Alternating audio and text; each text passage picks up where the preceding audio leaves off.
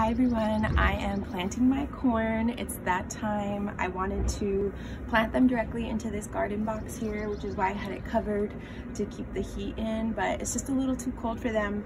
And if you can see the uh, leaves are starting to wilt, I think they need more um, warmth, which the soil would provide. So what I'm doing is I'm gonna be putting them into these um, little cartones, which I will then plant, I'll cut out the bottom and then I'll put them directly into the soil so that the roots can still grow and the moisture from the soil will make these all soggy and it'll be easy for the, um, for the roots to bust through them.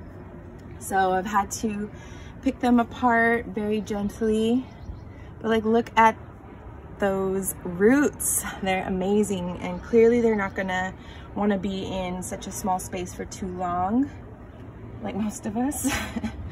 So I'm going to probably plant them within the next couple days, but this is just to get them some warmth. Um, I'm actually, I was taught to integrate my DNA with the corn DNA by putting them in your mouth before you plant them. I didn't put them in my mouth before I germinated, germinated them, so I'm actually gonna spit into the soil. And what that does is it kind of just like activates the seed with my DNA and also my intention for growing. I'm trying to, um, you know, keep a prayerful mindset while I do this. I was listening, oh, hi Bean. I was listening to some uh, prayer songs for corn as I was planting this um, because I, I really want this blue corn to grow and be happy. And then, so like that. And then I'm using this um, outdoor organic raised bed mix. Um, nothing too fancy, but I do want it to be organic. Little babies.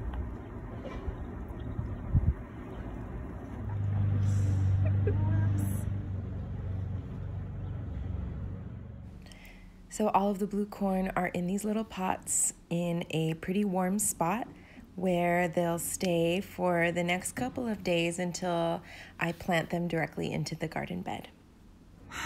Here I am at my garden bed. I decided to try a different version of planting for the rainbow corn. Um, so the blue corn is in little um, cardboard planters.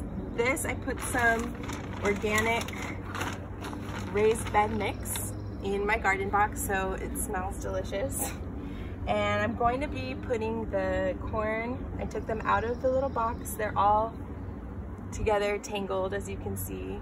And they're ready for some more space. So I'm gonna be planting them on this side of my box so that they don't shade out the other um, crops that I wanna put in my box here.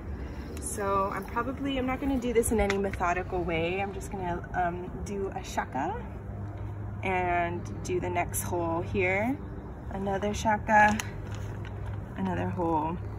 And um, as you can see, these roots are pretty long. They're real tangled with each other, so you kind of have to do it a little gently. But check out just how deep and long those corn roots want to go. So probably gonna do them about to my, as far as my fingers will go really. Um, I'm also gonna spit in these because of the DNA activation um, and intention that I want my corn to have.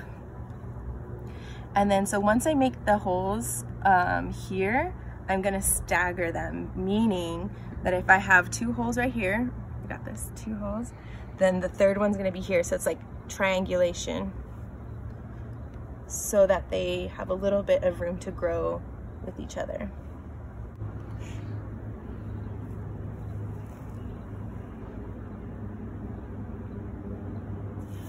now. Spin it.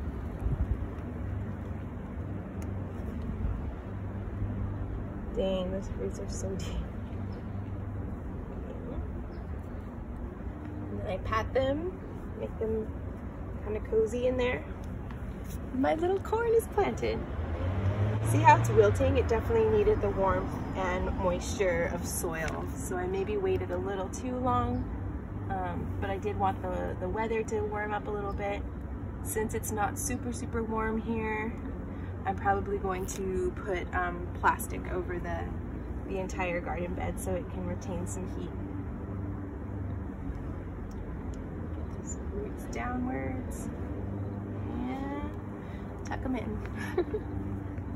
All right, all in here. Do you want to plant one?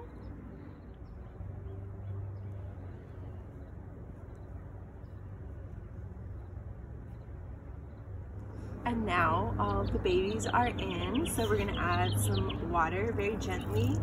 The roots are probably a little bit shocked from um, being transplanted, but we'll put lots of prayers and gentle water so that they hopefully grow.